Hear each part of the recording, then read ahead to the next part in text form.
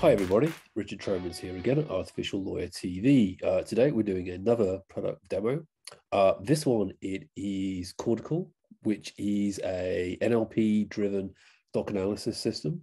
Uh, but Cortical is a little bit different to some of the other ones that you may have seen already in the market. Uh, to tell us a bit more about it is Steve. Hi, Steve. Hi, Richard. Thanks for the opportunity. Let me give you a quick walkthrough through the contract intelligence product. Okay, um, so again, Cortical IO contract intelligence extracts key information from documents. It interprets that information. It compares, searches documents. Our customers use it for general contracts, leases, insurance policies, RFPs, for example.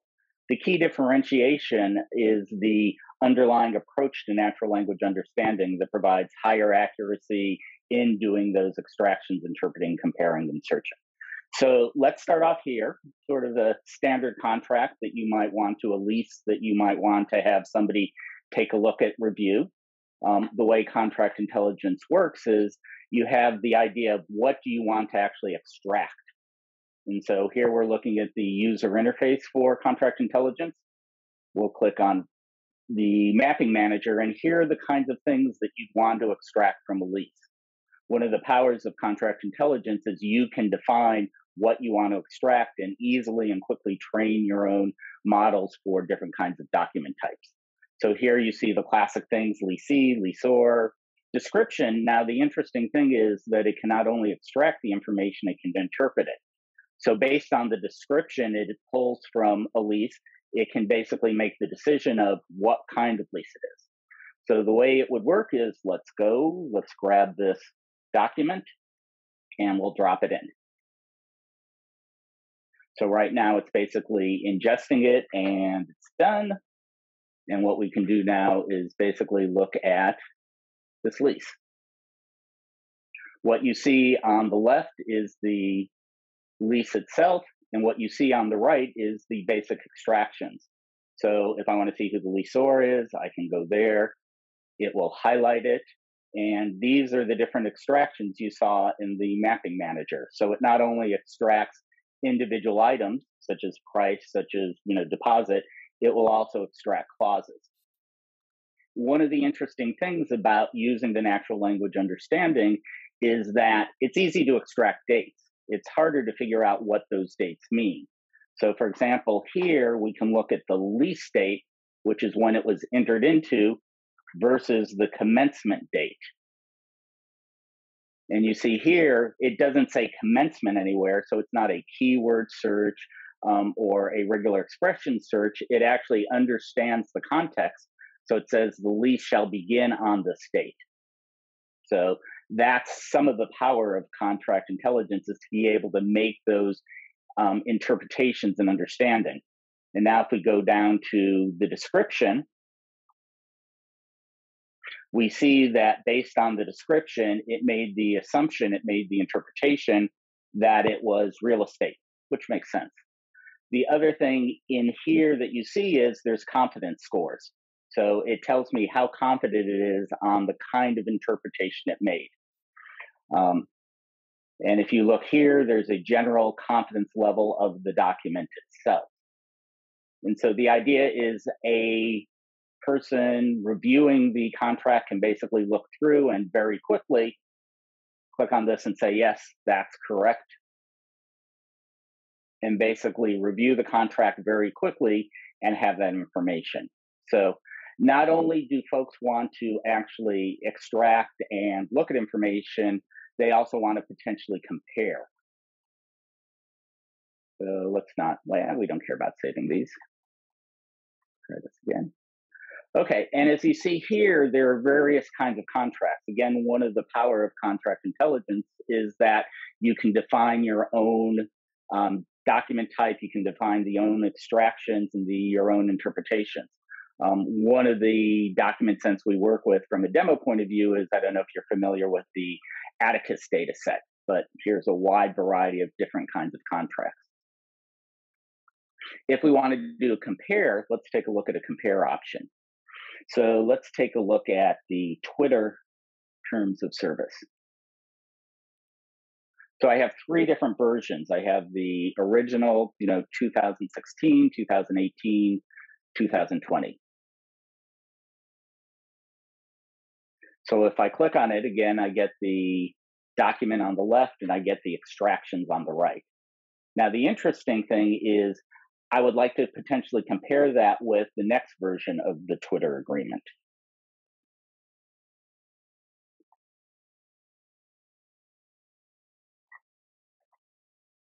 So what it's doing now is comparing the two. And what it'll do is it will go through each one of the extractions and then compare the extractions. So jurisdiction is the same. Actually, if I go back to the top, it will give me a overall confidence score. If you notice here, it will give me both a red line of the difference between the governing law provision here, but also give me a semantic score. And again, that's one of the key differences of contract intelligence is it has a semantic understanding. So, for example, under termination for convenience, you can see that there is a difference in the actual text, but from a semantic point of view, the meaning is the same. So it makes it easier for somebody to take a look, compare, and decide what they need to look at. And ideally, if I want to, I can add another document to compare and let's take a look at the last Twitter agreement.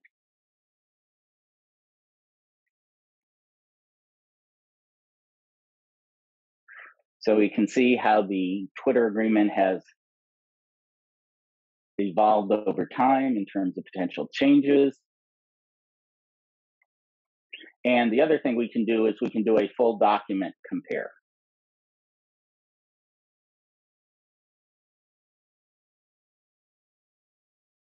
And so this gives somebody the power to basically the kinds of use cases we have with our customers are again comparing previous, comparing documents that have been returned with the original document that's submitted.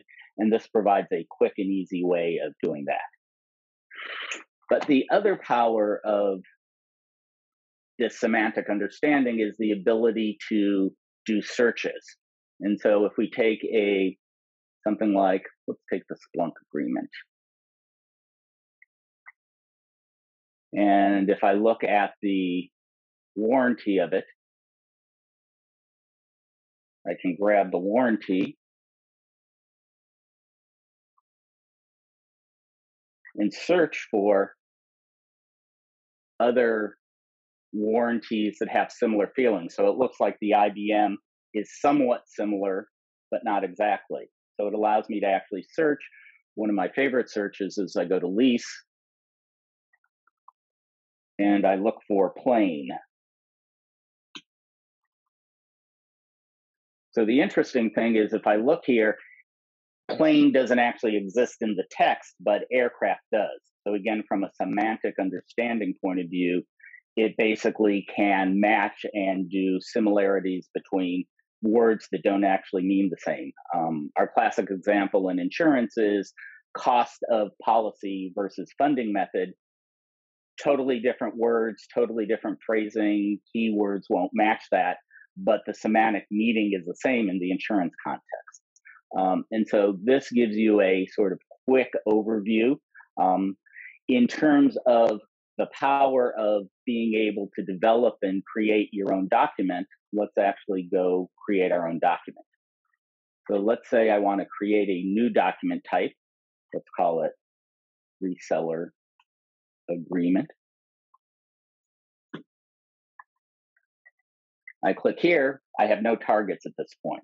So let's create a couple targets. Let's create party A, party B, governing law. So good, I can type. So let's save that.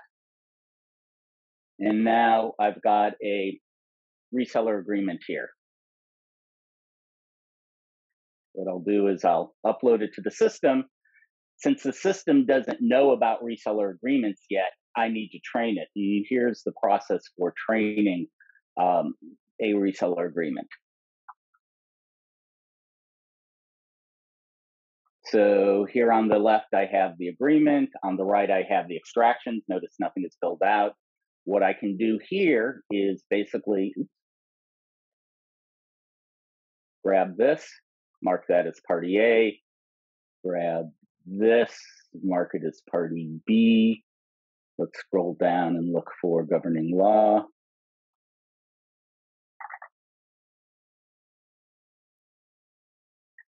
Mark that as governing law. And that's literally the way you can train the system. So by training it with 50 to 100 documents, you can basically create a model that will extract information from any kind of document, be it a reseller agreement, be it NDA, be it any of those. Um, so, don't know how I'm doing on time, Richard, but hopefully that was a quick run through of contract intelligence from Cortical IO.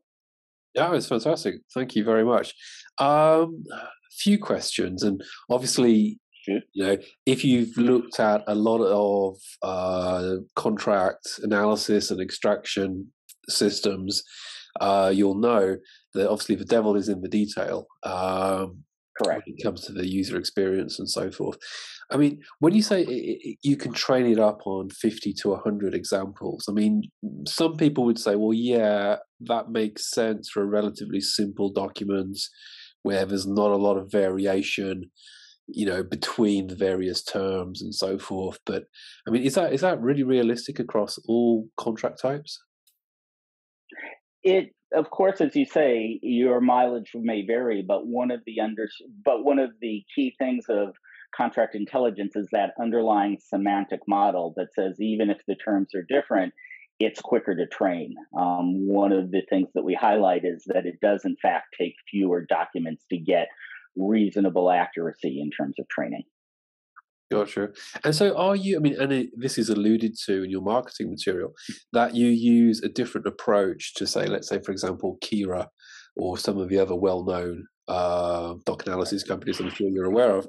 Uh, I mean, eh, are you taking a different approach, or have you just put a lot more time into sort of prefiguring the natural language processing, or which which also would be surprising is they're, you know they've been around for a decade as well. So I mean, I'm just trying to figure out how how could you be getting better results if you are getting better results. Right. So unfortunately, we don't have the time to dive into it now. I have a 20 slide presentation on it, but the underlying difference is we use machine learning techniques, but the key differentiation is this idea of what's called semantic folding. Um, classic, and I'm probably sort of getting a little too technical here, but classic natural language understanding is statistical based. And so you need a large number of examples for it to be, you know, accurate, et cetera. What we've got is an approach that um, called semantic folding that's more representational um, based on some work that was done by Jeff Hawkins out here in the Valley. It's a representational model versus a statistical model of natural language and that's what allows us to get the better accuracy. Gotcha. So just just i mean obviously these are approximate uh, points but just generally you would say that cortical is using a different approach to companies like kira or eBrevia and other well-known companies in the us and uh, canada for the underlying natural language approach to interpreting, to extracting information, interpreting search, yes, there is a, the semantic folding represents a different approach combined with machine learning and other techniques. Gotcha. Now, it also looked like there was a whole bunch of contract types that you had pre-trained. So if I was a, if I was interested and I bought a license with Cortical, and let's say I just want to work on U.S. language uh, English language uh, mm-hmm. contracts. Mm-hmm. What can I get out of the box, and what will I have to train myself? So, what our experience working with the wide range of customers is, you know, as you sort of alluded to at the start, everybody does NDAs. Not very interesting, well understood. Where we excel and where our customers use it is where they basically create a model specific for the interpretations of the company. So basically, out of the box, you get um, the ability to train to your specific needs, your interpretations. What we found is, for example, um, in insurance policies, we have different insurance companies looking at the same policy, policies wanting to interpret different things. So the difference is we don't provide out of the box solutions in terms of for an NDA, but what we do do is provide the flexibility to allow you to quickly and easily train to your specific needs and your specific documents. Gotcha. Fantastic. Does that make sense? Yeah, no, absolutely makes total sense. And just just for the last question, uh, I mean, if law firms, and I, I guess honestly, one one slight uh, extra question on that is presumably this will work in any type of English language, and also I guess will it work in other languages? I mean, you know, because your, so, tra- your initial training set uh, of sample documents that you're going to run through Cortical to build your model, if they're British English, that's going to be fine, I presume. Correct. Um, we support the product now supports German in addition to English.